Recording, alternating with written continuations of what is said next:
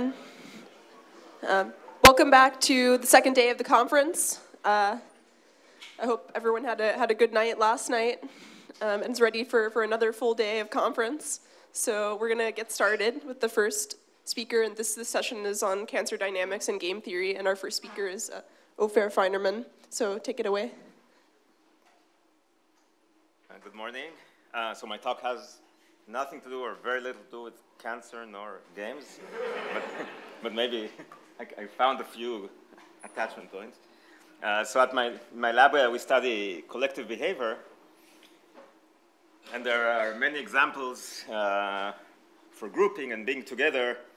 Uh, and perhaps one of the most intriguing that many people uh, like to ask is which is smarter? This, uh, all these, one of these little birds here that make up the flock, or the entire big bird that we're seeing, which is the flock shape, okay, is, is, is becoming smarter, one of the advantages of grouping together. Uh, so now if we look at the bird flocks, it's a bit uh, difficult to answer this question. First, because it's not clear to date uh, why these birds are flocking. So, so there's not a clear goal of what they're doing.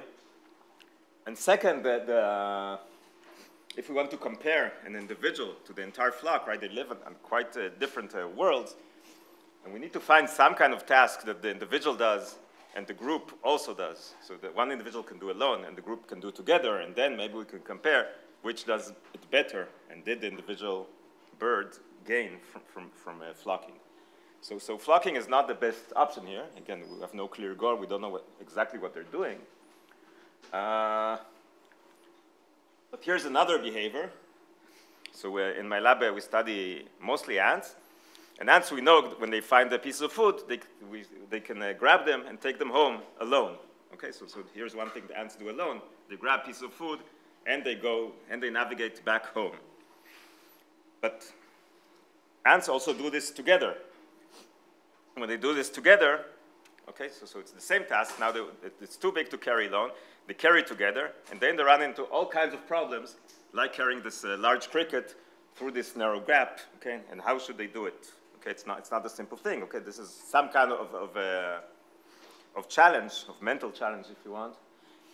So, so we can actually turn it into a riddle, into a puzzle where we can try to quantify, okay, what are they doing and how do they, how do they solve puzzles and what happens at the single individual level and at the group level. Okay, so, so instead of, of uh, looking at, at this uh, nice uh, natural scene that I showed you before, uh, we constructed a more controlled uh, riddle for the ant. And it's called the piano movers problem. So it's, it's a famous puzzle. It's a famous puzzle in uh, motion planning and computer science, okay, where you have to take a piano. It's the problem the movers face when they have to move a piano into a, into a small room, right, through, through corridors and stuff. And, and this is our version of the piano movers puzzle. Okay, so this red thing is the piano. This is uh, the home. And actually here, yeah, the piano has to be removed from the home, not entered into the home. So what the ants have to do is take the piano through the, from the first chamber, through the second chamber, and towards the nest. So they think this piano is food, we make it smell like food, so they carry it, and they want to carry it towards the nest, and this is success. And now, while you're looking at the puzzle, you can try to solve it in your head before you see the solution. And now the nice thing about this puzzle, you can still try solving it while I speak. Uh, the nice thing about this puzzle is completely geometrical, it's completely scalable. So you can give a tiny version of this puzzle uh, to one ant on the left-hand side, or we can give a large version of the same exact same puzzle, needs the exact same things to choose it, to, to a large group of ants, which we see on the right side. Okay, so let's see how they do it. Here's a single ant. And the fact it says, so you can see she easily moves it. It's, it's no problem. It's not too heavy for her. Okay, this was 3D printed and it's very light material. And she tries to remove it from, from the house to the mover's truck. And the reason it says single ant and not single ant, because you see, from time to time, she, she will disappear. Actually, she sees there's a problem. She goes to recruit uh, help. And when help comes, we only let one ant back. Okay, so, uh, Okay, so this is a single ant. Uh, we did see one time a solution, but very rare. And now let's look at many and solve it. So now it's a huge object after recruitment already. And this is from the beginning of motion. Try one way, doesn't go through, they turn around. Try the other way. There. And here they go. Okay. So, so in, in this uh, uh, in this graph, we, we can see uh, this is the, the, accumulated path length, and this is the, the, the chance that the, the, the, problem was solved by this uh, path length. Okay, so this the, the more you are to the left, the better you are, and we see the large group prefers much much better than the small group. The small group is actually not a single ant; it's a group of a few ants, but they do very similar to few, to a single ant. Okay. Okay. So why are many ants better than one? So microscopically, what do the ants do? So I'll, I'll go over it very, very shortly. Sorry. So you can see, no, it doesn't work, okay. So, so you can see that the ants here are moving to the right. So this is a snapshot of the ants moving to the right, and you can see that the thing is actually tilted. Why? The ants in the front are pulling, and the ants in the back are lifting. Okay, so, so instead of fighting and tug of warring, they're actually coordinating very well. Okay, this is why this thing is slanted. So actually what the ants are doing, they conform. Okay, so they feel the force that the object is applying to them, and they conform to the force, and they pull in the same direction. Okay, and the social pressure to conform grows with group size. So the larger the object, okay, the larger the forces, the more the ants tend to conform. Okay, so this is very, very, very briefly what happens microscopically. Microscopically, Okay, so what happens inside the puzzle? Inside the puzzle means that in a small group, what we're getting is like a biased random walk. So these are, are, are points where the, the load hits this front door, and this is where it left it. So you can see it hits the door, it squiggles here for a while, and then leaves it at about the same location. Okay, so just does a biased random walk. And, and this is what the large group is doing. They hit the door first in a, in a, in a so this is an overlay of many trials. So you see many of them hit the door in exactly the same location. And then what they do is not squiggle here, but they move along this uh, wall all the way here. And this is very major bottleneck in solving the puzzle. Okay, so we have this kind of wall following algorithm. Okay, and wall following, we know it's a heuristic to solve puzzles. Okay, so we have this emerging heuristic like the right hand rule. Put your right hand on the wall, and this way you solve the puzzle. Okay, and, and this, so, so this is very shortly how, how the ants do better. And now we're going to go to, to like cooperative transport is, is a very, very rare phenomenon in nature. Almost no other animal does it except for about 100 species of ants. So we chose one. And there's another species that does it. And it's, it's uh, this one here. Uh, so let's see, we, we build the same uh, puzzle just for people. Okay, so, so, so here's an individual.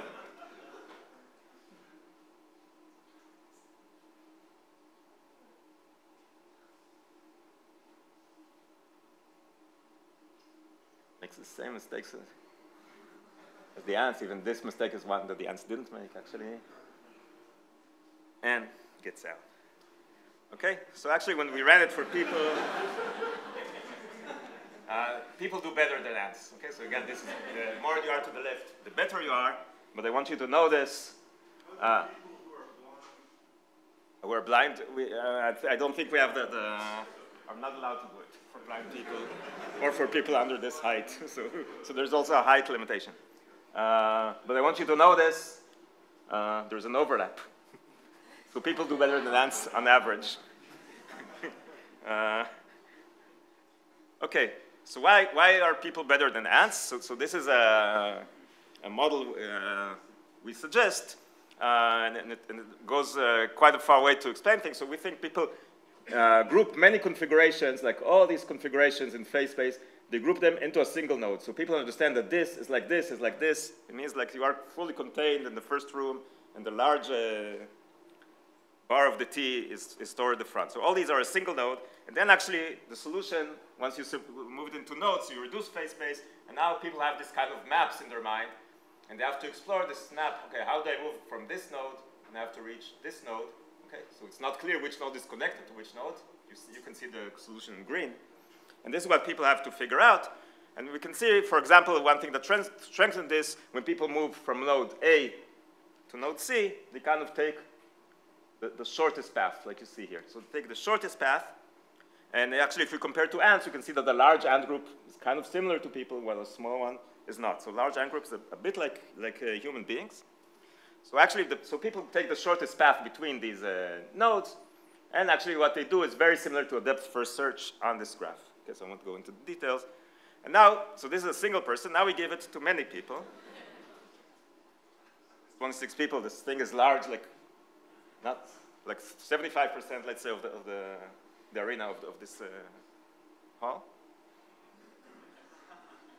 And the people are not allowed to talk, so we have two conditions. Here they're not allowed to talk at all or communicate. The person there is, is uh, kind of policing this so they don't communicate. And here we see a solution. Okay, so this is a single person, and these are, are groups that are not allowed to communicate. So we get worse. Many people do worse than one. Why are many people worse than one? So microscopically, actually, for each of these people, we had a force meter. So the people were, ah, wait, I'm on time, I think. So people have a force meter, and, and we can see when they pull. So actually, what we see is that people, some of the people start pulling again, and then the other people conform with them. Okay, so some people so until this point, after movement even starts, there's kind of a tug of war because the blue are pulling front and the red back, and then sometimes the reds conform. Okay? So that so the people actually, very much like ants, or probably you felt it when you carried something big, you actually go with the group, you conform, you don't want to fight the other people who might know what they're doing. And this goes with the second thing, people simplify their decisions. Okay, so because they have to reach consensus and they cannot speak, they try to reach the simplest consensus, and we see here so for each decision point, there's the greedy option, means try to go as fast as you can towards the exit, or the, the indirect option where you try to take kind of a, a, roundabout, and the black are single people, and the greens are the groups, non-communicating groups. So gr non-communicating groups are always greedy, so people try to compromise. They don't go where they, where they would have gone had they been alone. Not we don't even get the majority. Here, the majority of people want to go uh, down, but when they group, they actually go up, okay? So, so they change their, their, it's not that they do majority voting or something, they actually change their opinion towards being greedy. And that's why, why they do worse. Okay, so, so to summarize, let's start with, with uh, ants. Individual ants are very limited, okay, so, so they don't have uh, brains like we do. And this means when they, when they come into this puzzle, they don't know the details of the puzzle. They don't know anything. They, they, they, they, when they have to uh, identify what they have to do, this is just, okay, now we are at a, at a scenario which is a scenario of cooperative transport. We have to do cooperative transport now, and all the ants go to these rules of conforming that I told you very briefly about. So all the ants are actually on the same page. They're all trying to, to do cooperative transport, carry the thing together. So actually it's very easy to cooperate because all the ants are actually following the same rules. And, and, uh, and that's what they do. They follow rules. They, they, they feel where the force is going, so the force applied by other ants, by the, by the load, and they, they just go with this, uh, with this force. Uh, so very easy to cooperate. And then you get some group emergent heuristic that actually works for this puzzle, but also we've been working at this system for, for 10 years now. We, we threw many puzzles at these ants, and it's highly, highly robust. You also saw the natural movie at the beginning. Highly robust, which is nice because the ants are, are uh, they, don't, they don't distinguish between different cooperative transport scenarios, so it's good that the, the, collective algorithm they come up with is very general very robust to different, uh, different environments. Okay, so this is what ants do. People are very capable, but then the, the, the scenario identification is very fine. Okay, so one person think, okay, I should go right first, and the other say, no, I, I, I, I know this from my house. I already did something like that. I should go left first. So people have a lot of different strategies, uh, and then it's difficult to coordinate uh, and this requires communication. So actually, uh, this slide was somehow missing, but when we allow the people to communicate, we, we, save, the, okay, so we save the group so they again act, perform like a single individual. So now this requires communication to, to, to cooperate, and if the people do not, are not allowed to communicate, they actually dumb themselves up, they go to the most simple, most evident solution just to reach consensus, and this means deteriorated performance. So I'd just like to thank uh, my group and also the people that were uh, listed on, on, the first slides, the authors of this paper. One of them is sitting here, Amir Haluts. Uh, and thank you for listening.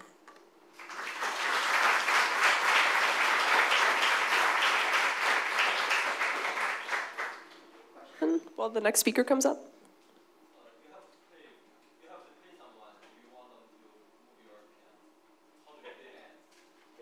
We just put a piece of, a, of a plastic in cat food overnight, and they think it's food. So now they want to take it to the nest. That's it. So the payment is the food that they think they're going to get. This is food. It's, it just smells like food. They think it's a big piece of food. People would just tell them, this is what you have to do.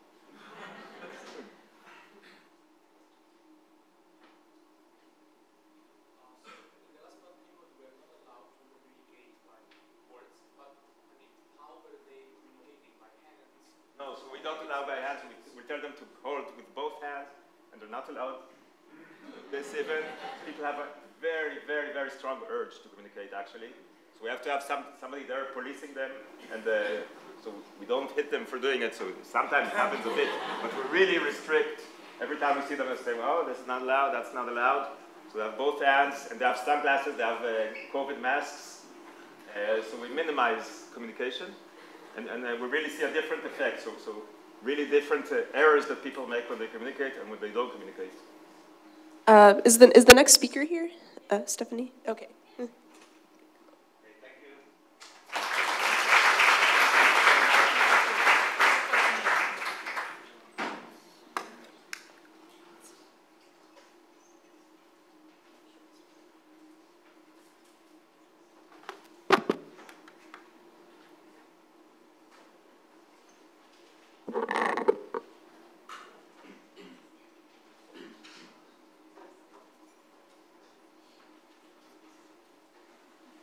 Hello, these microphones are made for people that are way taller than me. Hello, everybody. I'm Stephanie Puentes, and today I'm excited to um, welcome you to my talk, which is titled Insight into the Coordination of the Bacterial Cycle Through the Protein ParA. Still not cancer. Um, let's start with a problem that every, um, every cell faces the maintenance of the chromosome. Chromosomes must be inherited faithfully every single time as a basis of life, no matter the type of cell it is. However, bacterial cells face additional challenges, namely that they have tiny vessels, that they need to do processes like concurrent replication and segregation of their chromosomes, and they also need to accommodate fast growth. So my thesis focuses on how bacteria um, focus on this coordination, and in my lab, we strive to understand the bacterial cell cycle, and we use Caulobacter crescentus as our model organism for the reason that um, initiates replication only once per cell cycle, and that allows us to track um, when replication has initiated. We track replication by putting a fluorescent tag on a protein that binds close to the origin of replication, and then we track um, the localization of this protein as a focus in the cell. So every time that you see a green dot in my presentation, it's going to count, count as an origin of replication. This is what it looks like in vivo, where two ori separate and then you have, um, they move to opposite sides of the cell. For my thesis, I only focus on the initiation of replication and the onset of segregation, so we will be zooming in on these processes. This is how chromosome replication, initiation, and segregation work in Caulobacter. In the chromosome, we have the origin of replication, and eight kilobases away, a centromere-like region called par S. Par B binds to par S directly, and I'll be referring to this complex as the centromere from now on for simplicity. Um, then replication initiates at ori. The oris are separated, but it isn't until the region nearby par S replicated uh, that the centromere is segregated, and that's done by par A, which is an active chromosome segregator protein that pulls the centromere to the opposite pole. At the end, you have a cell with two centromeres anchored at each pole. For my talk, I'll be giving an overview on two of my findings. The first one is that PAR-A levels alter chromosome replication initiation, and the second is that PAR-A is involved in the release of the centromere. So let's focus into the first one. As I told you, Caulobacter initiates replication only once per cell cycle. Here are some cells expressing an empty vector, and as expected, they show one or two um, centromeres, which correlate to the number of chromosomes in the cell. But when we alter the levels of par A, we have cells with more than two chromosomes um, in the cell. And this told us that par A, the active um, segregator, actually has roles in replication initiation. And we're still investigating the mechanism for this phenomenon. Now let's dive into my second finding, which is that par A is involved into the release of the centromere. We have explored different par A variants, and most of them over-initiate replication. But then we explored two variants in the DNA binding domain of PAR-A. When mutated to a non-polar residue, we see overinitiation. But when we mutate it to a negatively charged residue, we still see overinitiation but no release from the pole. So we went on to investigate the interactions at the pole. In the cell pole, the centromere is anchored um, by a protein at the pole, which I have de depicted in purple. And we first disrupted the interaction between PAR-B and the anchor, and we still saw that there was a release defect. But then we disrupted the interaction between PAR-A and the anchor, and now the centromeres were um, able to be released, which was very interesting because PAR-A was not known to have a role in the release um, of uh, the centromeres, and showed us that PAR-A has many roles beyond active chromosome segregation. To wrap up, these are two of my findings that I've shared with you today. And as final remarks, I just wanted to share with you um, how carefully coordinated the cell cycle is, even when just zooming in on a tiny bit of it. How remarkable it is that cells manage to do all of these so fast and with such little room for mistakes, and how we still have fundamental questions to be answered. Thank you.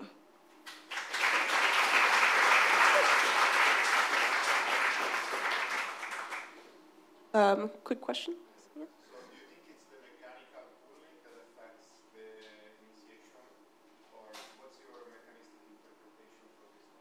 So for now, we do know that it is my, the protein that does active chromosome segregation actually talking to the protein that initiates replication.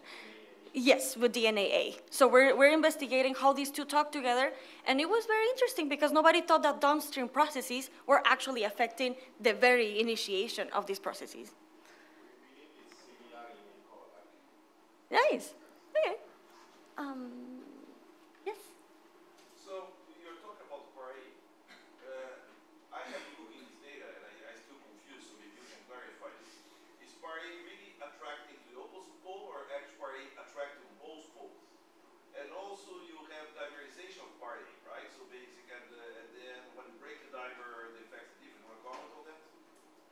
So as far as um, depicted in the literature, it was thought to, that PAR-A is only attracted to the opposite pole.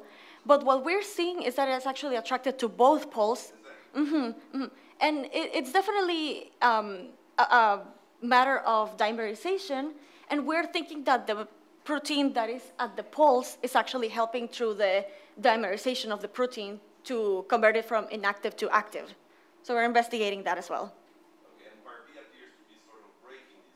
Yes, yes, it does. Okay, uh, I'm sorry, we have to go to the next speaker. You just uh, have to follow can... the pink dress if you have more questions. Thank you so much. Thank you.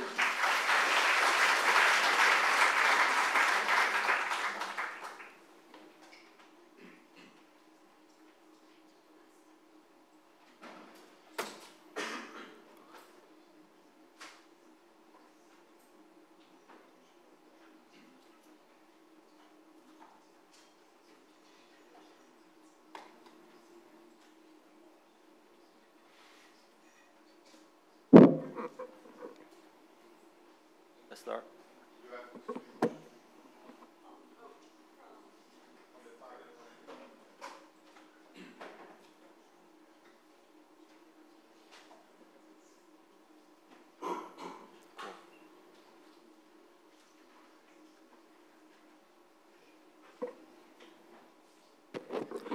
Hi everyone, uh, I'm Yitong from Yale University, uh, US. And uh, today I'm going to talk about uh, computational modeling of breast cancer cell invasion into adipose tissue. Uh, so let's look at the system I'm trying to model. Uh, here are two, so breast cancer usually they originated from the milk duct, and as they grow, they may break the duct and start to invade the tissue outside. The tissue outside is adipose tissue, and they mostly composed of adipocytes or fat cells. Uh, those cells are uh, the uh, those cells are mostly lipid or oil, so they are deformable and uh, incompressible. And the tumor tissue mostly composed of tumor cells, and uh, those cells are uh, sticky, soft, deformable, and motile. They can migrate actively. So in the middle, there are two images um, taken from uh, mice that has breast cancer. It's the images are focusing on the frontier of the cell uh, of the cancer invasion. The white ones on the left are adipose, are adipose tissue, and the reddish purple cells on the, on, on, the right are uh, cancer cells. Um, and, and uh, the other two cartoons are uh, slides from our computational models.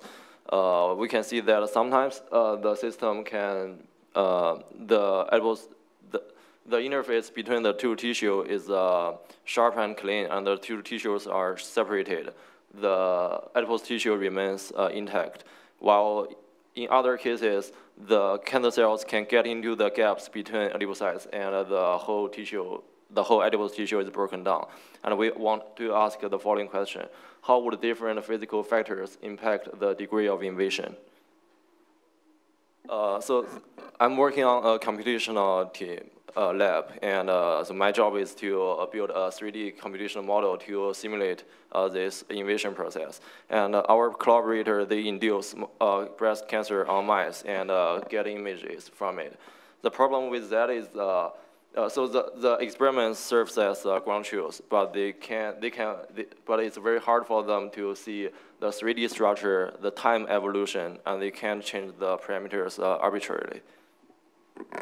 Uh, so this is uh, our uh, computational model. we model adipocytes as deformable um, particles. So a deformed particle is basically a polyhedron that has many vertices, and each adipocyte has a preferred uh, volume and surface, and when its true value is different from its preferred value, we employ a, um, we apply a, uh, a, quadratic energy penalty. So this makes the deformed particle deformable and uh, incompressible. And uh, for, cancer, for cancer cells, we model them as uh, self-propelled particles. They are soft, uh, sticky and, and motile. They can migrate uh, acti actively. Uh, our results are summarized uh, in the in the arXiv paper, and you can see that uh, if you scan the QR code, or you can reach out to me through this uh, um, email address. Um, so um, basically, what we found are here. Uh, the first result is pretty trivial if you look at the figure. Uh, the faster cancer cells migrate, uh, the more invasive, the more aggressive they are.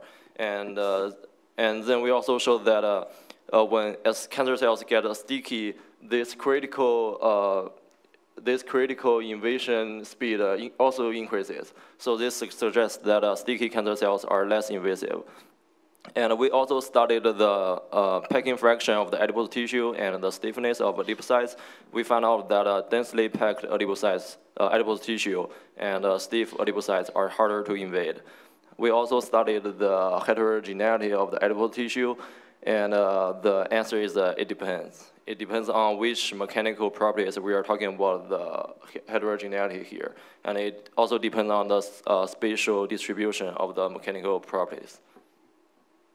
Uh, finally, I'd like to thank my PI, my uh, lab mates, and our collaborator, and our funding resources. Thank you.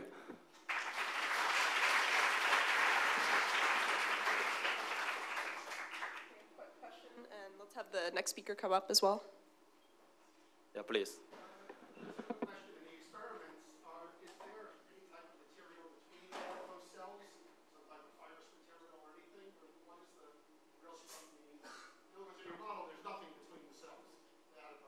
Yeah, so in, in yeah, in the real world, there's uh, not only cells, there's also fibers to, to, to collect them together. Yeah, so uh, we also model that, and uh, um, the way we model that is to connect the adipose uh, adipocytes together so that they don't uh, easily fall apart. And, and also those uh, extracellular matrix, they have, in, uh, they have influence on the uh, cancer cell migrations. That, that, that we haven't modeled, but we will do that in the uh, future. Please.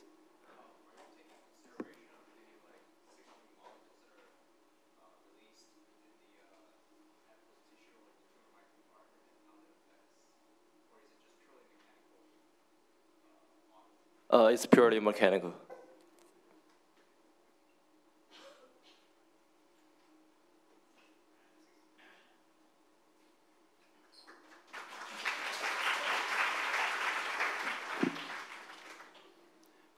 everyone. I'm Simone Scalise, a PhD student in physics at the University of Rome La Sapienza. in collaboration with the Italian Institute of Technology. Today I will show you how can infer the, div the division strategy of leukemia cancer cell population. Despite the large number of existing cells, all of them are subject to a series of processes that allow them to grow and divide. The balance of these processes uh, leads to the achievement and maintenance of homeostatic size. The importance of heterogeneity in the size distribution of cancer cell population has been recently linked to drug resistance and invasiveness. From a cell dynamics reduction point of view, the strategy allowing size homeostasis can be roughly grouped into three classes, sizer, under, adder, and timer, which differ for what trigger the division, the size, the increased volume, or the time respectively. This strategy can be uh, in, uh, identified knowing the relationship between the size at birth and division, which means follow the proliferation single cell level as is done for fast prolifer proliferating cells like bacteria and yeast, but it's more difficult for uh, mammalian cells due to the uh, larger time scale of proliferation. We are able to infer the division strategy of leukemia cancer cell uh, using the live cell fluorescence labeling and flow cytometry in combination with a quantitative computational model.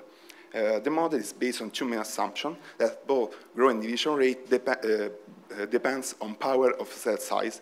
In this way, uh, simply changing the value of the parameter alpha and beta, we're able to uh, identify the three different strategies uh, using a simulation. The experimental protocol is based on flow cytometry measurement. Uh, the uh, cultured cells are stained with uh, a fluorescent dye that binds to the cell cytoplasm. And using a flow cytometer, we're able to isolate, isolate the desired cells from the whole cell population. Uh, we select only the cells with uh, fluorescent intensity around the max peak of the fluorescent distribution.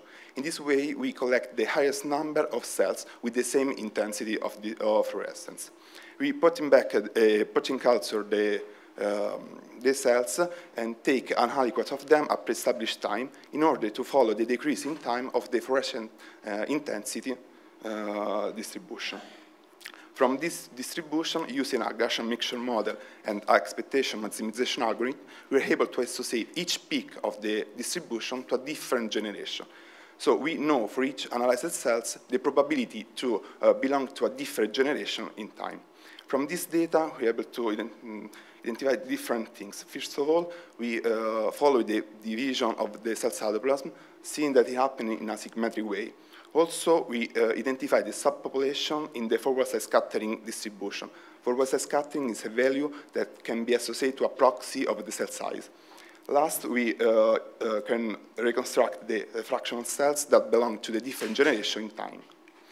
Using these fractional cells, the average uh, size of the world population time and the mean size for each generation as constraint for our model, we can obtain the best uh, parameter for our uh, fit.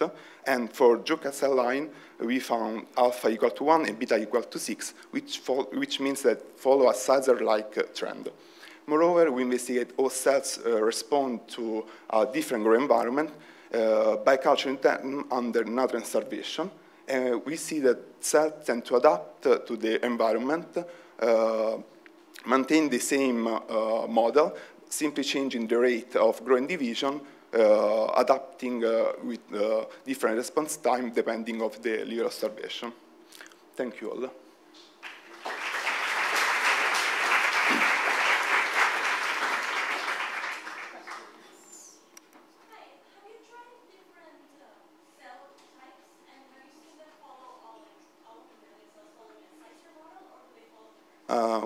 Uh, only all um, uh, suspension cell, so Jurkat and uh, um, THP1, uh, because flow cytometer works better with, with uh, uh, suspended cells for the, for the type of analytics.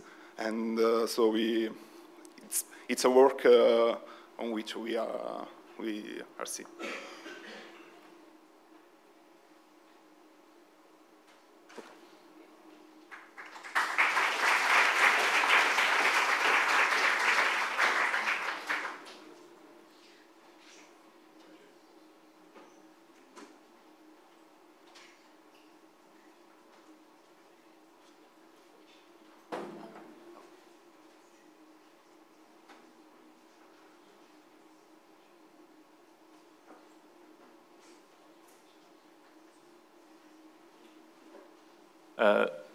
Morning, everybody. I'm uh, Leonardo Agasso. I'm a first-year PhD student at the University of Turin, and uh, today I'll talk to you about uh, microRNAs and uh, whole genome duplications. So first of all, what is a whole genome duplication? Whole genome duplication is a process that duplicates the whole genome of an organism. Usually, uh, this is a dead end in, in evolution, since it produces deleterious effect on the, on the phenotype but it's uh, nowadays uh, well established that uh, two rounds of whole genome duplication in the early vertebrates lineage um, boosted the size and the complexity of the vertebrate genome.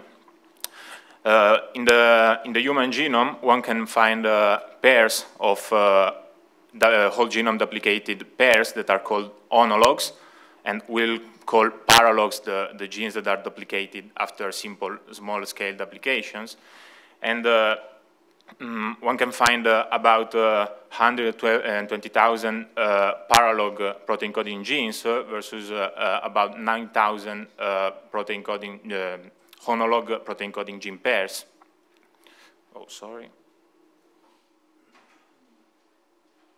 microRNAs, on the other hand, are uh, small uh, non-coding uh, RNAs that uh, in eukaryotic uh, organism uh, regulates the, the, um, the, gene expression at the post-transcriptional level by inhibiting the um, translation of messenger RNAs. And the first step of my job, of my work, was to identify homolog microRNA pairs since uh, the available resources on uh, homolog genes uh, um, just take into account protein coding genes.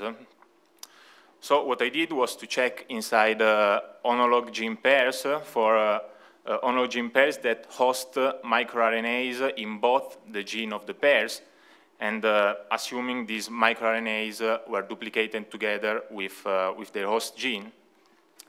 And the first thing I did after retrieving a list of whole genome duplicated microRNAs, I checked for similarities in their sequences and compare and compare it to uh, similar microRNAs uh, hosted on uh, simple paralog protein coding genes. and what I observed is that microRNA pairs hosted on homolog gene pairs have a higher sequence similarity. One can imagine that uh, microRNAs uh, on uh, paralog gene pairs, microRNA pairs, each dot is a pair, hosted on paralog gene pairs are just a false positive of our analysis, but a much more likely explanation is that uh, they, at least some of them, uh, actually duplicated together with the host genes, uh, but underwent a rapid uh, evolutionary divergence. And my intuition is that uh, if you duplicate a microRNA, uh, but you don't duplicate the whole set of its target, that is something that is possible only after a whole genome duplication, you are more likely to produce deleterious effect due to stoichiometric imbalance. Then, uh, from a network theory perspective, I try to understand the role of these uh, homolog microRNA pairs uh, in microRNA messenger RNA interaction networks. Um, checking if they are enriched in particular subgraph called network motif that are somehow relevant to the gene regulation network. In order to do so, I generated a null model randomizing the original interaction network 10,000 times, uh, preserving the, the, degree of each node since uh, my uh, homolog microRNA display a higher out degree compared to, uh, mm, to general microRNAs. What I observed is that uh, homolog microRNA pairs are enriched in particular subgraphs like V-motif that just tell us that uh, they tend to regulate the same gene targets. But uh, more, more, interestingly, uh, they are also enriched in mo more complex uh, motifs like bi-fan with protein-protein interaction between the, the target genes. that are, these, these motifs are, are um, related to stoichiometric balance because for uh, complex uh, proteins, you have to uh, cooperate in the regulation of the, of the um, subdomains of the protein in order to maintain a correct ratio and mm, not produce stoichiometric imbalance. And this result is even more, uh, more relevant observing that single microRNAs were, were not observed in a pairs, uh, do not uh, display an enrichment uh, in, uh, in motifs like this delta motif. Uh, So a microRNA is targeting a pair of, uh, of uh, gene that uh, interact at the protein-protein level. That's it. Thank you very much.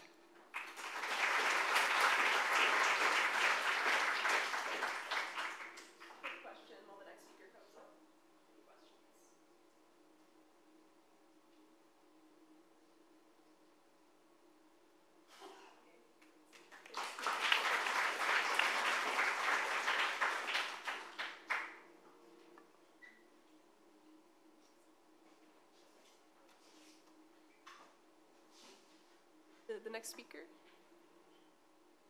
I, I saw him earlier.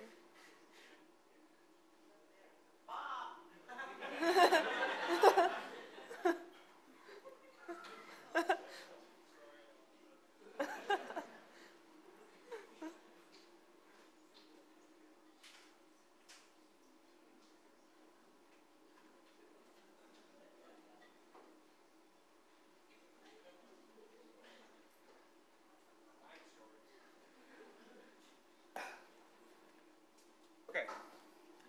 Excuse me. It's nice to see a lot of old friends here and some new faces. Uh, Thank you for inviting me here. Let's See,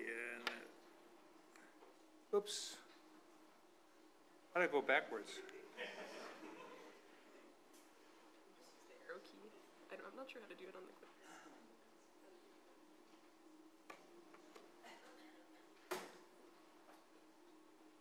clip. Okay.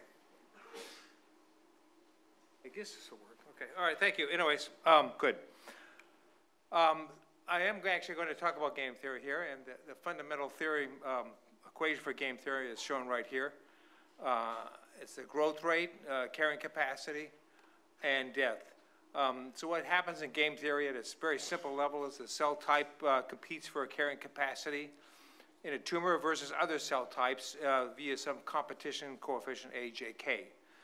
Uh, the effective growth rate at low densities decreases with approach to the carrying capacity. That slows down. That's the fundamental thing. Um, basically, you can sort of view them as fermions, and that's why the growth rate slows down as you uh, approach the carrying capacity. Uh, unfortunately, according to modern game theory, all of us should be dead or starving at this point. What I mean by that is uh, Paul Ehrlich published a very famous book in 1968 called The Population Bomb, which said the battle to feed all of humanity is over. In the 1970s, hundreds of millions of people will starve to death in spite of any crash program embarked upon. At this late date, in 1968, nothing can prevent a substantial increase in the world death rate. He won a MacArthur Fellowship. He's a genius, eminent e- ecological award, and the Crafoord Prize in Biosciences. Great man. He also has really bad uh, sideburns. So what went wrong with that? What's, why, why are we all here? Um, and there's a couple things that he screwed up on. One is the birth rate, uh, the growth rate RJ. He assumed that would be constant, but actually it's been decreasing with time, as you can see here. Actually, for many countries right now, they are quite worried that the um, growth rate has now gone below um, the normal rate to replace the population. Japan, South Korea, and other countries are actually profoundly worried about that right now. Uh, more, a bigger mistake he made was he assumed that the carrying capacity was a constant. But actually, it's a complex quantity which is not time invariant, no more than growth rates or death rates are fixed. Making predictions is difficult, especially about the future, a famous quote by Niels Bohr. I'm going to talk now about cancer. We're going to leave Paul Ehrlich, and there are basically three carrying capacities in cancer to worry about. Uh, called it the three Ks. The first one is simply in a tumor, there's a maximum density of the cells per unit area. They're fermions. It's likely to reach very quickly and influenced by the tumor size. The second one is how big the tumor can get, and that's scaled by uh, oxygen diffusion and then the um, um, network of uh, blood cells of, of blood flow that can uh, accommodate that growth. That's another carrying capacity. The older carrying capacity, the ultimate K, is that typically humans turn about 0.1% of their body mass over per day. you can only sustain about 0.2%. If you get burned very seriously, the reason why you die is that you just simply cannot replace the skin that fast. It's too bad of a, too big of a metabolic load for the body to withstand. For cancer, you can compute what that would be. If you assume that the immune system is attacking the cancer and you have a turnover rate of cancer cells at so many per day, and you go ahead and look at, from that figure I gave you, 0.2% is the most number of cells your body can replace per day, you find out that a typical lethal size for a tumor is about 750 grams, about two pounds. And that's done by the third carrying capacity. We now move to a cancer which luckily has a measure, however imperfect, of the number of cancer cells. That's a critical thing in cancer. Uh, and that can be measured for prostate cancer, one of the few ones, via the PSA num number, which is the prostate-specific antigen. It's antigen found circulating in the blood, which may be a measure of the total number of cancer cells in a tumor, but at least it gives you a measure of that. And if you're going to do game theory, you need to know the number of agents that are competing for space for one of these three Ks. To do game theory, you, know, you need to know the number and phenotype of the players in the game. So in, I will go to a spherical cow model here and say we just have two players in the prostate cancer game. One is a drug-sensitive cancer cell, NS. They are not invasive. They won't kill you because, one, their growth is limited by carrying capacity of the local density and the oxygen diffusion, but not the third one. And they are, in fact, drug sensitive, so drugs actually work with them to knock them down. The other one is the resistant cells. The resistant cells have a different growth rate, but they are not sensitive to the drug. They will continue to grow. So you can write down two coupled nonlinear differential equations here for the sensitive cells competing against the resistant cells, the first equation there, and the resistant cells competing with the sensitive cells for carrying capacity. And they have different carrying capacities. There are weeds here. This looks like a simple set of differential equations you can solve on any laptop computer, but it's not so trivial. PSA is a measure of testosterone. Sensitive cells need testosterone for survival, which is connected to the androgen signaling network. If you deprive them of androgen, testosterone, the carrying capacity decreases. Androgen depriving drugs are better than toxic drugs, but men don't like them at all because they feminize them, and however, they're better than the alternative, castration. Abby acetone inhibits the androgen receptors of cells to disrupt androgen signaling employed by prostate cancers. I'm now talking about stage four cancer here. These guys have no plan B anymore. They have sensitive cells, they have and insensitive cells competing against one another. And the question is, who's going to win that game? You can go ahead here and map out the basic phenomenon that's going on here. When you give a drug the sensitive cells will decrease. However, the insensitive cells will increase. At some point, there's a tipping point where the insensitive cells exceed the number of the sensitive cells. That's the big red arrow here. Beyond that, the uh, inexplicable, the unfortunate thing that must happen here is that this, the insensitive cells will dominate over the sensitive cells, even in the presence of drug, and eventually take over and you go to the carrying capacity three. So if you don't do anything in prostate cancer, what happens here is if you've already passed that tipping point, as measured by PSA levels, it's just a matter of time before the insensitive cells dominate and achieve the third carrying capacity, which this body cannot tolerate anymore. Your tipping point has been passed. When you apply Abby to a patient, what you're doing is you're dropping the carrying capacity of the sensitive cells. So that's that gamma factor there in the, in the denominator of my equation. So applying Abby to the cancer decreases the carrying capacity of the sensitive cells and does not affect the carrying capacity of the insensitive cells. So what will happen then in that case is that the PSA level will drop initially because you remove the sensitive cells, presumably are dominant at the start. And that goes on for a while. You're miserable, but they say you're in remission. But the tipping point inevitably must be reached, in which case the insensitive cells will exceed the number of the sensitive cells, which are kept down by the drug, and they will dominate, and then you proceed to have exponential growth and proceed to carrying capacity number three. This is the way that they treat prostate cancer right now. It's the maximum tolerated dose. Unfortunately, stage four prostate cancer is incurable and almost inevitably lethal for the reasons I'm showing you here, even in the hands of an expert oncologist. There's a fundamental instability here. Removing the rapidly growing testosterone-dependent cells, S, buys you time. Yes, it does. But it opens the gate for the growth of the slower growing resistant cells, which no longer have to compete against the sensitive ones. I used to think, having discovered evolution independently of Darwin, that the tumor evolved de novo resistance, but probably in the case of Abby, Abby resistance, it was there all along and well adapted. I'm not really sure about that.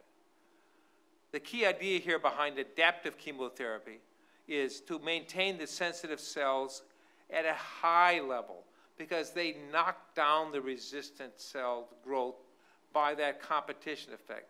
So the strange thing is, our advice to the oncologist is don't knock down the PSA level, give minimum dose, keep the PSA level high, maintain a high level of sensitive cells as long as you possibly can.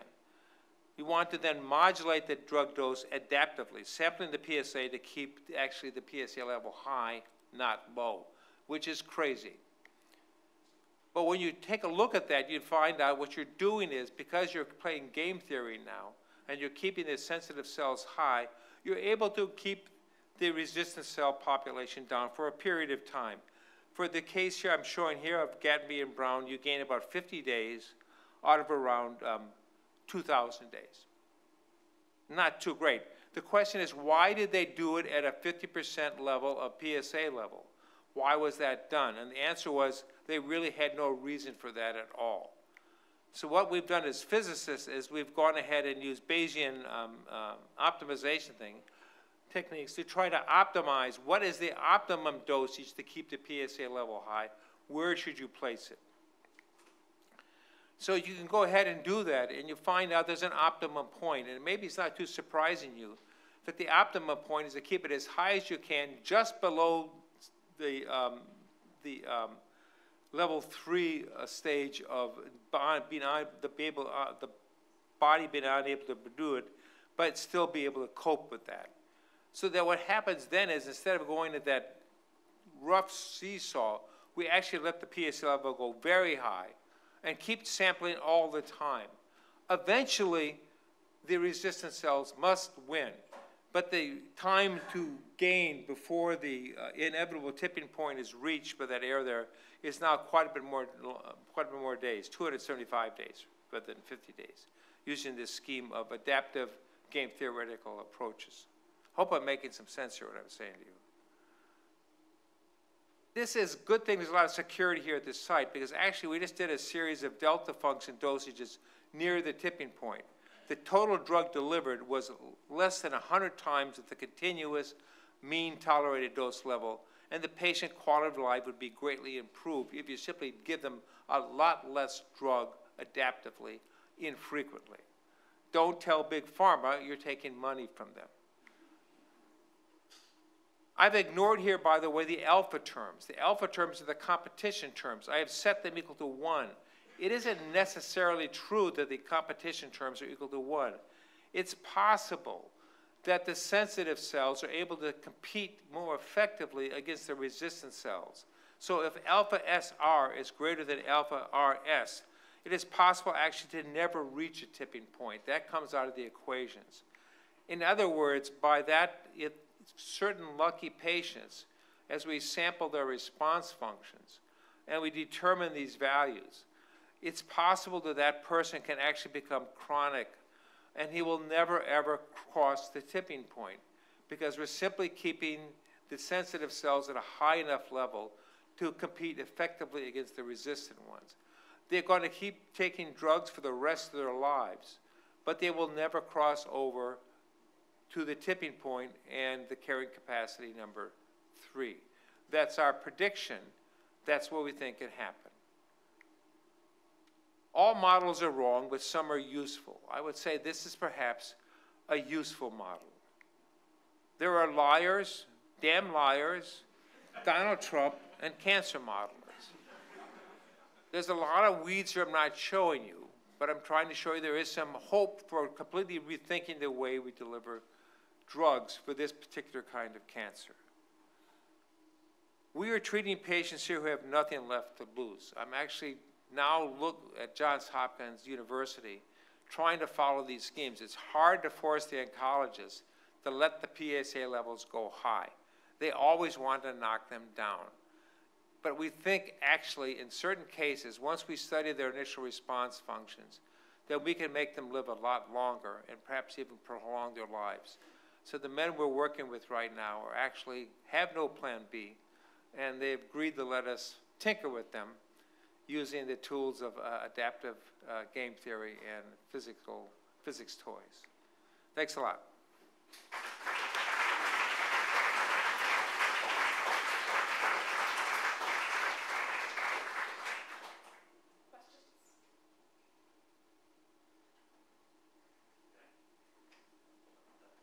My hearing's terrible, by the way.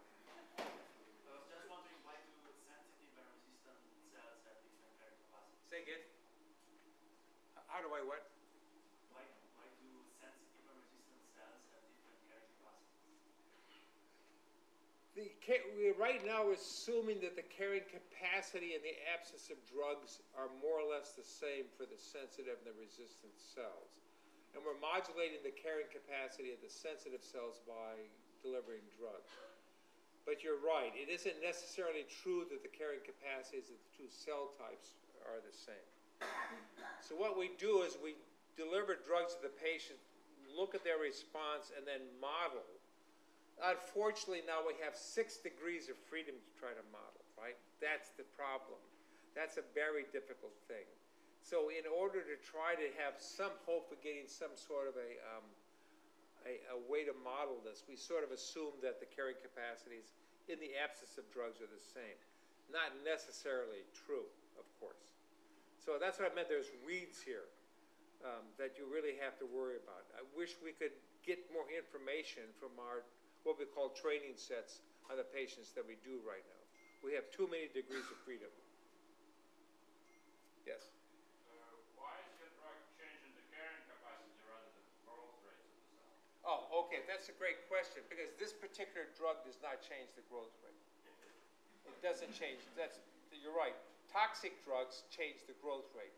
Since we're doing um, testosterone uh, sampling uh, uh, treatment, that changes carrying capacity.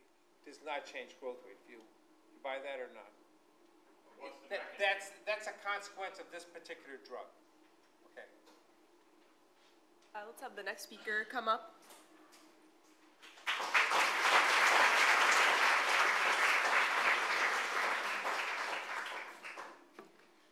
Uh, good morning, everyone. Uh, hope I'm audible. Uh, so hi, I am Ashwin, uh, third year PhD student in the lab of Dr. Harley and Dr. Bhargava in the Department of Chemical Engineering at UIUC. And today I'll be talking about label-free infrared imaging for metabolic measurements in an in vitro cancer model. Just a brief outline of my talk. The final goal I'll be discussing is that uh, we can use infrared spectroscopy when you combine it with atomic force microscopy uh, for quantitative metabolic measurements in fixed uh, single cells uh, and the cancerous cells as well. Uh, considering a diverse audience, last night I tried my best to include a bit more background on the cancer metabolism stuff uh, for the context of this presentation. Further on, I'll be talking a bit more about the tools used and the actual application side of it. Uh, it's a fairly common knowledge that uh, tumor microenvironment is uh, pretty heterogeneous with hundreds of different types of cells involved, uh, which is kind of a primary driver for uh, the heterogeneity and tumor progression. Uh, overall, This heterogeneity can be contributed in many ways, uh, mainly because of cell-cell and cell matrix interactions, differences in the stiffness, uh, different responses in patients uh, for same treatments as well, and differences in the metabolic status. Uh, when I started my grad school in the Harley lab, the first three topics were already being worked on by the grad students. That's why I decided to pick the fourth one, which is differences in the metabolism statuses. In the cancer community, uh, Warburg effect is a term which is popularly known, which talks about how uh, cancer cell metabolism is different from normal cells. Uh, briefly talking about it, in case of normal cells, usually uh, glucose is taken down uh, and then by glycolysis broken down to pyruvate. In the presence of oxygen, it goes through mitochondria uh, to be broken down into ATP and carbon dioxide. In the absence of oxygen, this pyruvate is broken down to lactate. However, in cancer cells, the function of mitochondria majorly shuts down in the sense that in the presence or absence of oxygen, most of the pyruvate gets converted to lactate, uh, which is further used for production of more biomass and uh, cellular proliferation. Most popular techniques right now uh, to be able to study these metabolites better include isotope tracing and metabolomics. Just briefly discussing and touching upon these two, isotope tracing is basically when you uh, label one of the atoms from metabolite with a uh, radioactive element and uh, as it moves down the tumor progression cycle uh, it is tracked by uh, fancy medical imaging equipments one of them being PET imaging. Uh, and the other case metabolomics is when uh, you identify a rare patient phenotype try to take blood or cell samples do liquid chromatography and mass spectrometry on that.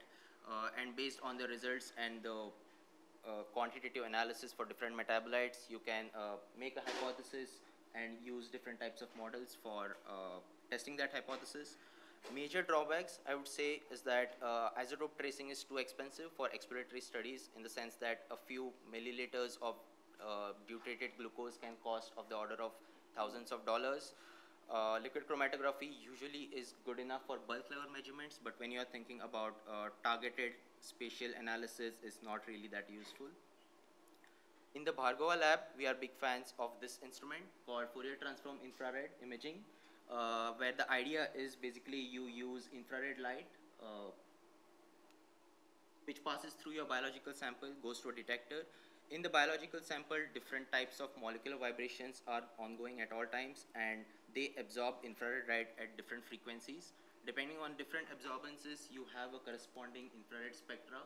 This is a kind of a chemical signature of that specific molecule because, or the, the sample of interest, mainly because uh, this kind of gives you an idea about different components in that specific sample in terms of lipids, proteins, nucleic acids, and carbohydrates.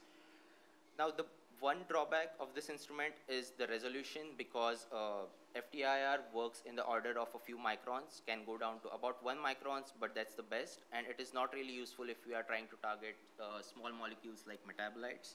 So you can combine this with another instrument called atomic force microscopy, which is popularly used to get uh, topological information of cells.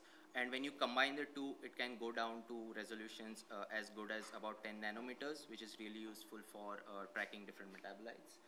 Uh, the way this instrument usually works is you have a cantilever which uh, hovers over your sample.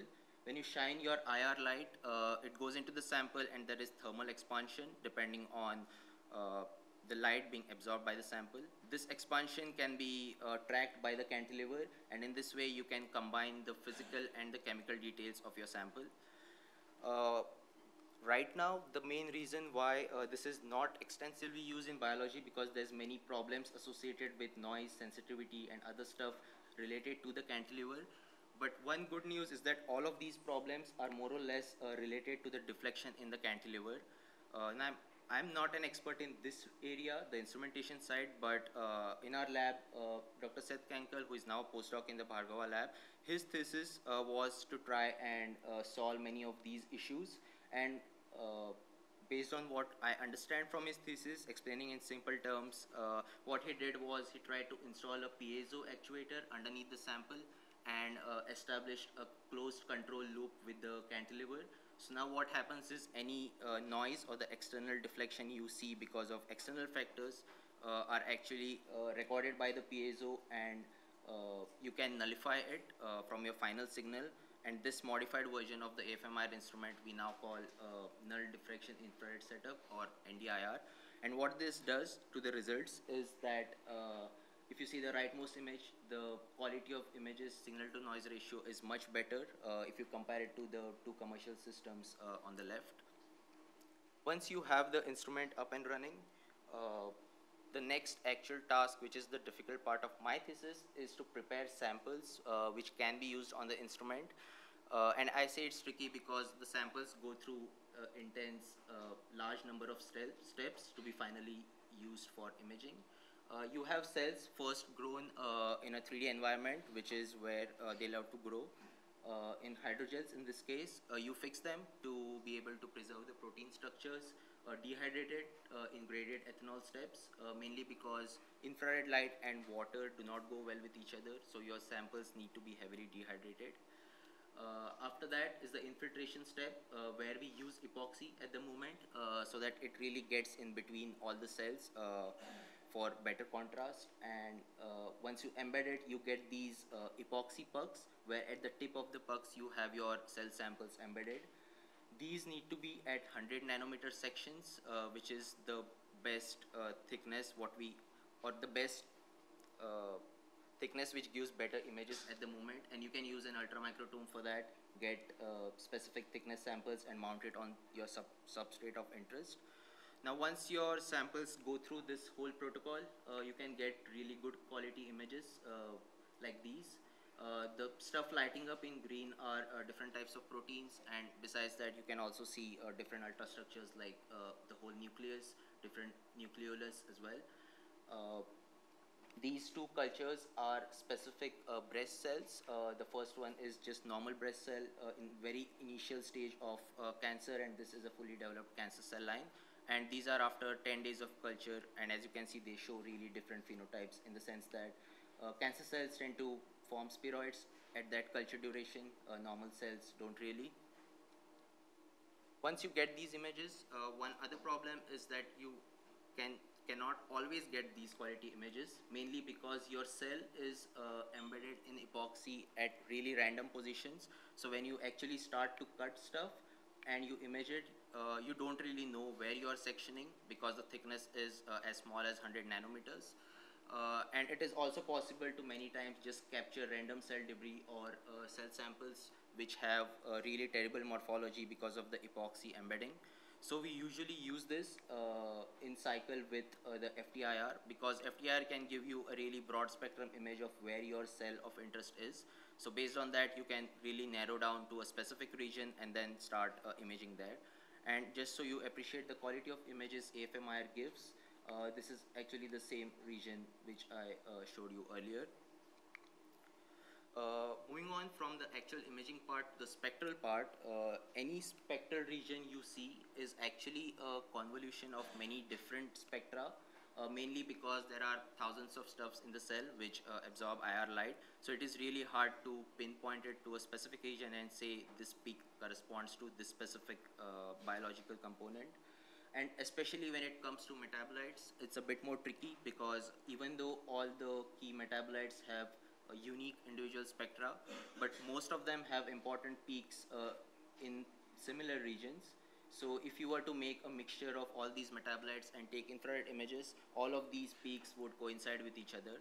Uh, to get around that, uh, we are trying to develop a library of calibration curves for all the different metabolites of interest uh, of the order of a few hundreds, uh, 200 metabolites, which are very well known in cancers.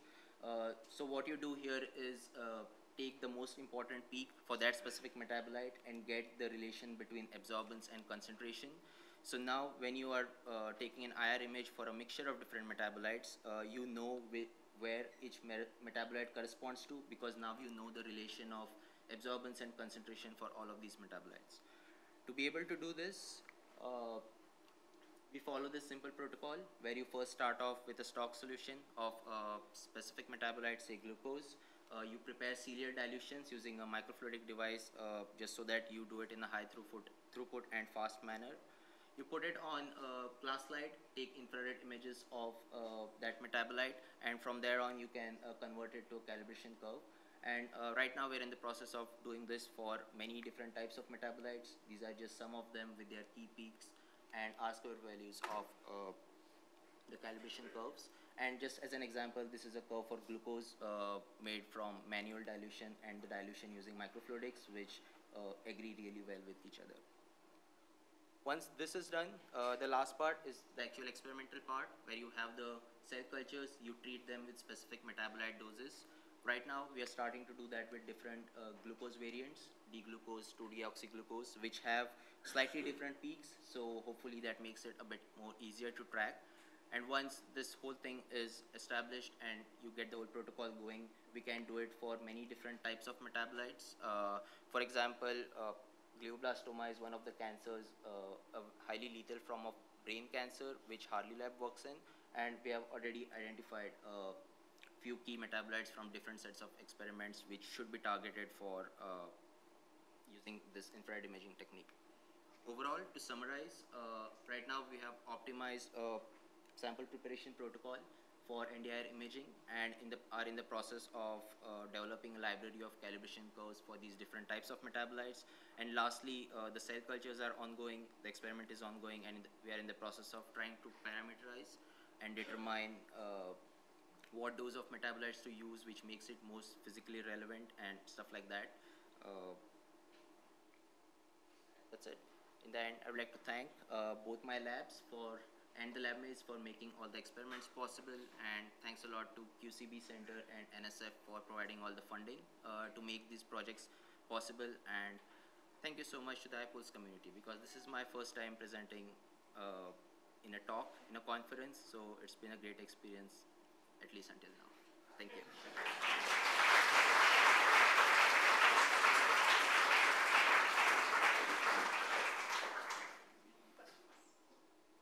Yes. So that's in principle very impressive. I, the, the only question I have from a theorist perspective is, how do you know that all the preparation that you have to do to get to the sample that you then can image display doesn't change various metabolites of the less the control? Yeah, so that's a question I get at every posters and every talks I've attended. Uh, it's like principally how do you know if the metabolites are even there at the end because there's like such an intense protocol. So short answer is we don't know.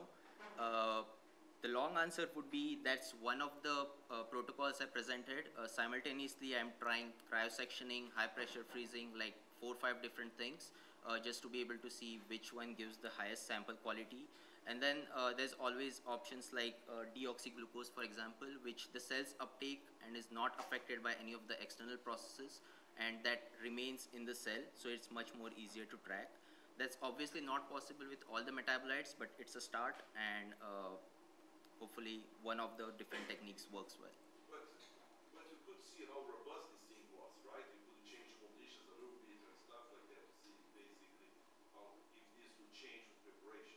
Yes. So, uh, so for starters, even the I had to like spend a month to even get the gel material right. So I did not mention it here, but we right now use Matrigel. But I had initially started with gelatin, and the same protocol works really terrible with gelatin. So even that uh, and changing the optimization, optimizing the times of each step, all of that gives like vastly different results. So right now with this technique, I'm trying to spend some time on that, but hopefully uh, other stuff like cryosectioning should work really well because there's like literally no step involved. You have your cells treated, you freeze them, you section them and image them. Okay, so uh, I'm Herbie Levine, and I'm going to tell you about our continuing work on how chromatin microenvironments affect transcriptional dynamics. Now, originally I was going to talk about this in the context of E. coli and supercoiling and sort of more physics, and then I noticed that the organizers put me in a session on cancer, so I decided to talk about the other half of the work, which is the bottom half, which is histone marks, genetic networks, and its relationship to problems in cancer. Uh, if those, anybody interested in supercoiling, uh, the last that submitted to PNAS, actually as of yesterday, it's accepted at PNAS. And so you can read our papers on, in, in, uh, on supercoiling. And then uh, we have a number of papers also on uh, looking at histone marks. So I need to tell you what a histone mark is for those of you who do not work on chromatin structure. Uh, chromatin in eukaryotic cells consists of, of course, the DNA, and the DNA is wrapped around these yellow balls, which are octamers of proteins. Uh, they're, they're called histones, and the structure is called a nucleosome. And it's well known that you can modify these proteins. You can add various chemical groups to their tails, and the modification of those histone proteins will affect the, the, rate at which genes can be transcribed in various kinds. And these changes, which are collectively called epigenetic changes, are very important in things like how plastic cells are, how if you give the cell a stimulus, how it will be able to rapidly change what genes it expresses in order, for example, to differentiate into a new type of cell during development. Okay.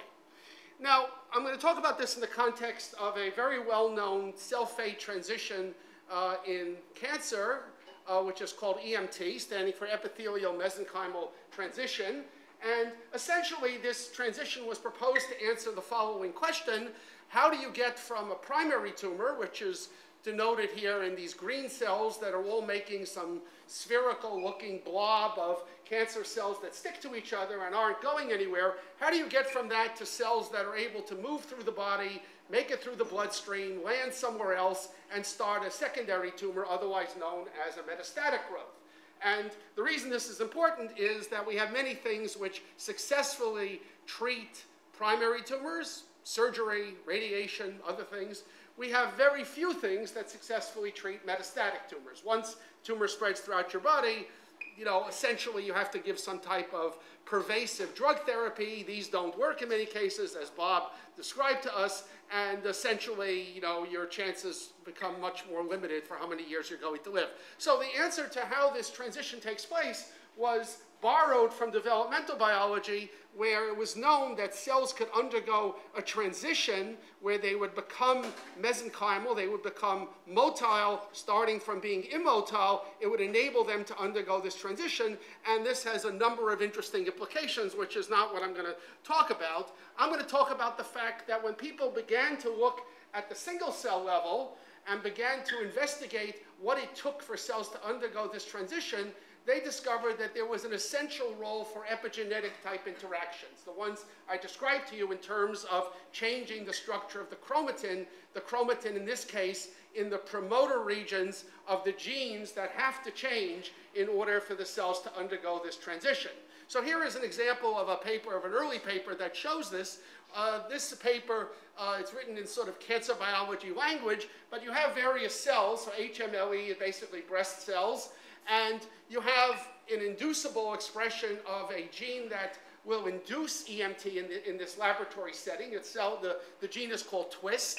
And you apply this inducible thing, you add a drug, it turns on the gene TWIST, it tries to push the cell towards EMT, and if you study using flow cytometry or anything else, if you study the transition, you discover that you know, 80% of your cells are cooperative, they undergo this transition, 20% of your cells refuse to obey. They just sit there, do nothing, they don't realize that you've all of a sudden tried to push them into a new fate. So these people investigated what was the difference. They didn't do it very quantitatively, uh, but they actually suggested in this paper a few years ago that what was the difference was related to a global epigenetic program, uh, they saw that if you looked in some detail at the epigenetic structures of the cells that could undergo transition and the ones that could not, they looked different. The accessibility of some of the genes that needed to be turned on to make this mesenchymal program happen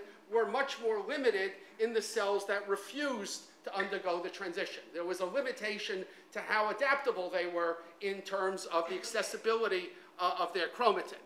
Now, you can ask, how do we study this? I'm a theorist, as you all know by now.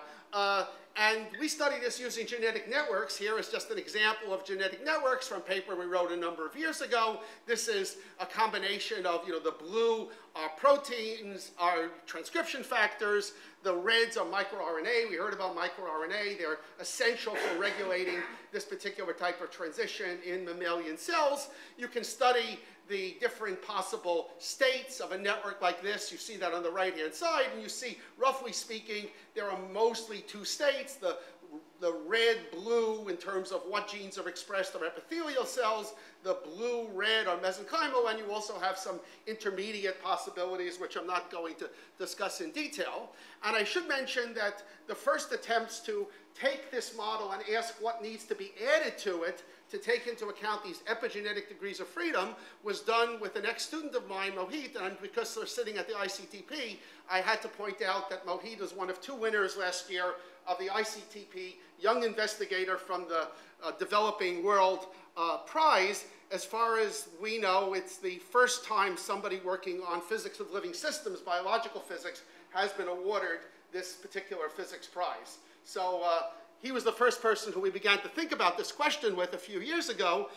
And the real breakthrough for us came from a different experimental system, uh, which is a little bit, uh, a little bit mangled here. But there was an experiment that we discovered uh, in 2020 and was eventually published in 2022 from Bob Weinberg's lab at MIT, which for those of you who work on cancer, Bob Weinberg literally wrote the book on cancer. Uh, and the experiment was different than the one before. The one before just asked, you know, what, you know, what happens when you apply a stimulus to cells and you just measure what happens. This one took the same experimental idea a step further. They said, let's take cells that are resistant to this transition. Let's take those cells and let's figure out what we can do to make them adaptable. So let's take a positive approach, in this case using a CRISPR screen, what can we knock out in order to make the cells that previously are not uh, able to undergo the transition, what can we do to them to make them now able to undergo the transition? So you do an entire CRISPR screen. This is a new tech, relatively new technology where you can knock out all sorts of different proteins and you can see the consequences. You can identify which ones are most effective. The two knockouts that were most effective at restoring the ability of the cells to undergo this transition were epigenetic enzymes, enzymes that were known specifically to modulate these histone marks, in particular known to modulate histone marks around some of the transcription factors that were in the genetic networks that have been used to describe the transition in the work of the, of the community over the last decade or so. And so uh, I just mentioned two, what, those two enzymes are. If you look at a typical promoter region, I guess, is there, is there a pointer on this thing? Uh, is at the top? No. Yes, okay, yeah. So if you look at some type of region, a promoter of some gene, for example, ZEB1 is a, a very traditional transcription factor which induces EMT, that you can silence it by adding a histone mark called H3K27ME3, which you don't want to, you know, I can read the code for you, but it just stands for the third histone, the 27th lysine, adding three methyl groups. Doesn't matter. It's something which silences the gene, makes it harder to express that gene, and PRC2 is an enzyme which, under, which makes that transition happen, which you know, just enzymatically adds the methyl group in that location. And this was one of the knockouts that was identified in the CRISPR screen. And the other one was KMT2D. KMT2D is a methyltransferase. It adds a different methyl group.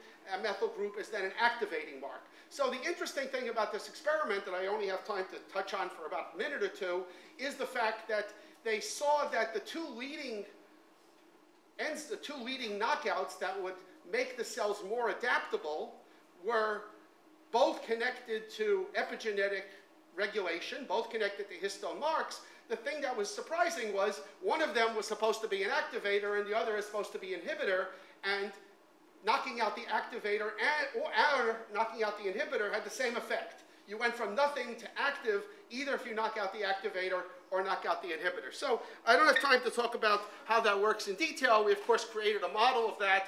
The basic principle of the model is that you cannot think of epigenetic regulation in the same way you think of genetic regulation. Epigenetic regulation is something that's happening globally. You have these enzymes, and they have to bind to different regions of the genome, and there are hundreds or thousands of different sites along the genome that will try to attract PRC2 to, mod to modify epigenetic marks. And when you change various epigenetic enzymes, you have to understand where, you know, how you or particular promoter that you care about, because you care about this genetic circuit, how that's interacting with all the other parts of the genome in terms of competition for that resource, the resource being the epigenetic enzyme. So you can, for example, just to show you pictorially, uh, if you if you look at uh, what happens in the baseline before you do anything, you have PRC2, you have KMT2D, the Z promoter is off in those cells, and that's because you have this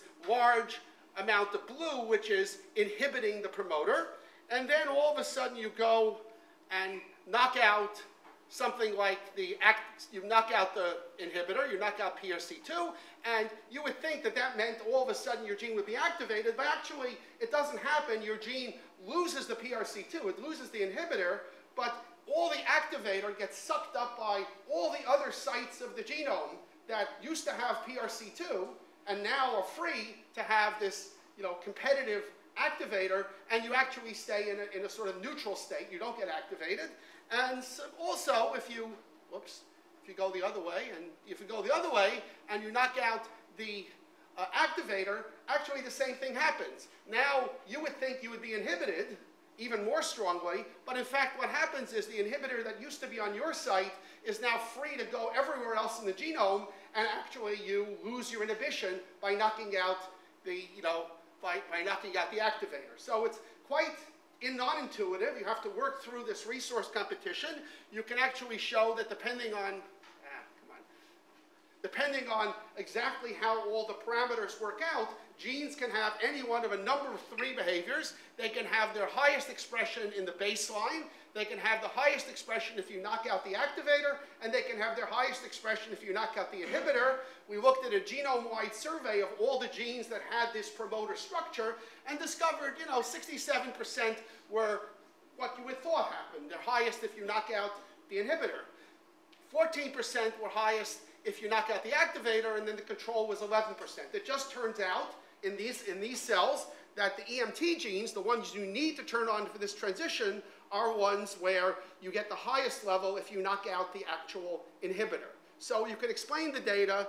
I won't you know, go through all the details. There's, we can then make a model which looks like a combined genetic network together with a epigenetic promoter circuit, where now the promoter circuit modulates the ability of the transcription factors to affect each other, and you can then study the effects of this network. You can match it to the experimental data, you know, as we, we always try to do, and you can make various predictions, some of which have already been tested, some of which know, are still in the process of being tested.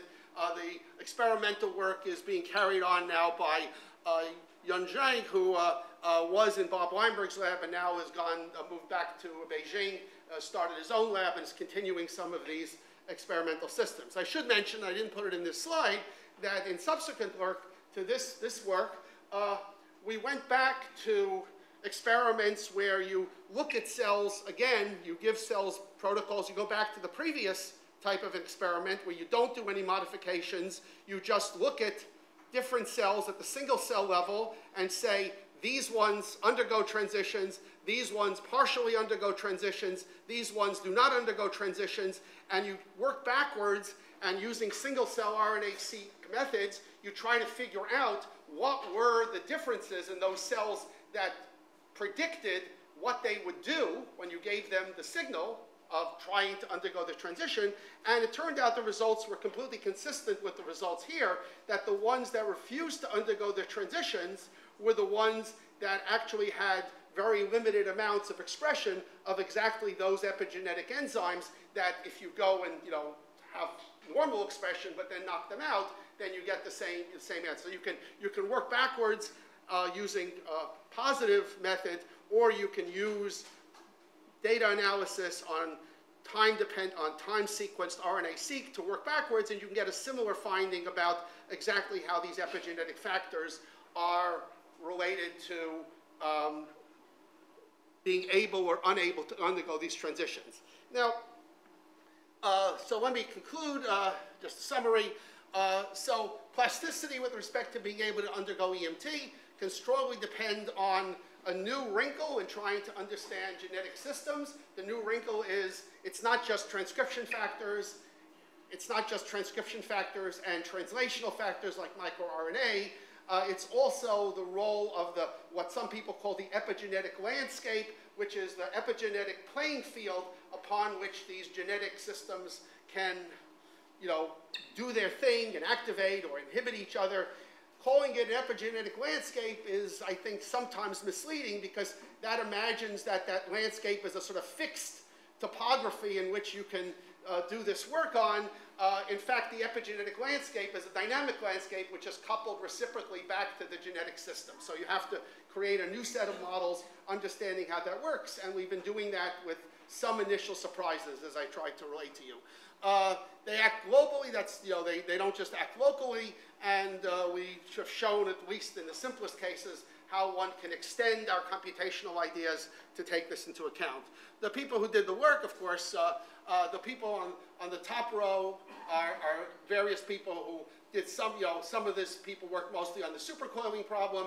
Uh, the person who worked mostly on the, the work I described to you is uh, Muhammad Ali Al-Radhawi, who was a postdoc at Northeastern, now works for a biotech company, and also Shubham Tripathi, who's now uh, left, uh, was a post, was a graduate student, now is a postdoc in Yale Immunology, and uh, together with Yun Zhang, who now moved to, to Beijing, and together with longtime collaborators, uh, Jose, uh, Eduardo Sontag at Northeastern, the help of Bob Weinberg's lab at MIT, Mani uh, was an experimental cancer biologist collaborator, and the most recent work done together with Franziska Michor at Dana-Farber Cancer Center.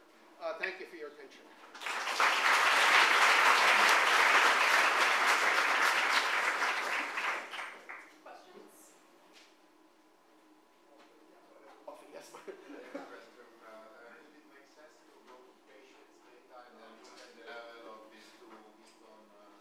principle, yes. In practice, we're a long way from really. I mean, my, feeling is you you don't want to you know overstate what you've learned from a, a simple set of cell line experiments. Uh, so the answer is we haven't really done that in, in an extensive way. But it's well, you know, in the cancer community, it's well known that there are cases where epigenetics plays a major role. People have, you know, as is always in that case, that immediately leads everybody to do uh, clinical trials on many, many different epigenetic modifiers, HDAC inhibitors, methylation inhibitors, all done totally empirically. So we are not quite there yet, I would say. But, uh, but of course, the answer is yes. Yes.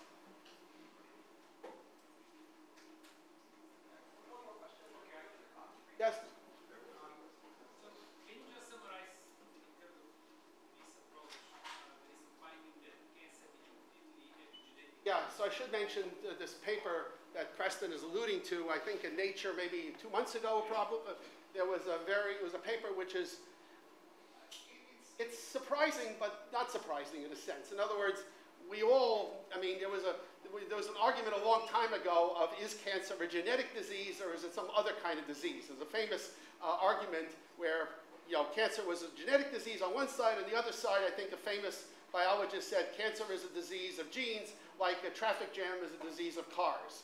And, you know, in other words, that the, that's not the single genes, it's not the mutation. Now, the, the mutation picture won out for a number of reasons, because most of the time, when you ask what initiates cancer, you see that various genes, which we call driver genes, usually the ones governing uh, uncontrolled growth, are mutated.